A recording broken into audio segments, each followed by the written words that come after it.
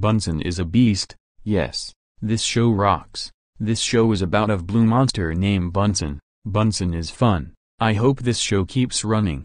Do you know who likes this show? Me. And I don't know who hates this show. So anyways, Bunsen is a beast rocks. And so does Pig Goat Banana Cricket. Sesame Street sucks. End of salute. And my salute season 2 going to Mickey Mouse,